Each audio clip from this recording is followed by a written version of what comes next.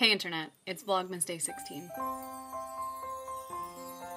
It's Friday and it's getting really close to Christmas, like almost kind of scary close to Christmas. A week from tomorrow is Christmas Eve when did this happen? But I'm doing something new this year that I've never done before. I'm sending out Christmas cards. A group of people I know here on the internet are doing a card exchange thing. Some of you definitely know about that because you're involved. And so I have to send out my card for that, but I also decided that I wanted to send some cards to some other people this year as well because, like I said, I've never done it. And to be really honest, I haven't sent a lot of mail at all and definitely have never sent any international mail. So today I'm going to finish up writing those cards and get them all addressed and take them to the post office and have them help me figure out what I need to do to make sure that my cards get everywhere that they need to go for the holidays. And since this is festive and I don't really have any other ideas for today, I'm gonna take you along with me. So first, let's get the cards done.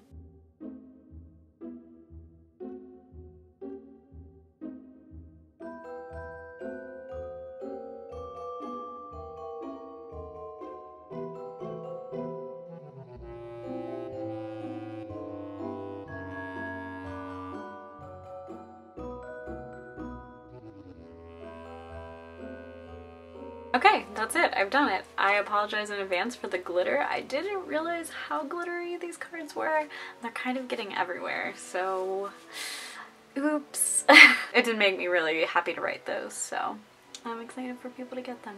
Alright, off to the post office. We're here at the post office, but there are so many people here and I'm really nervous that they're gonna get mad at me that I don't know what I'm doing, but we'll see. I have two domestic and uh, four international things to mail. Okay. Thank you so much.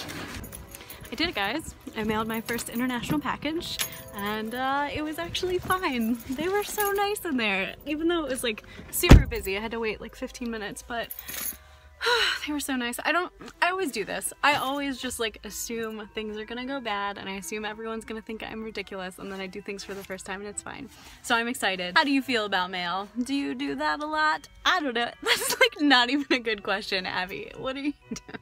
Okay, I'm gonna go to Target and do a little bit more shopping and enjoy my Friday night. So I hope you have a good Friday night too. Thank you so much for watching and I will see you all tomorrow.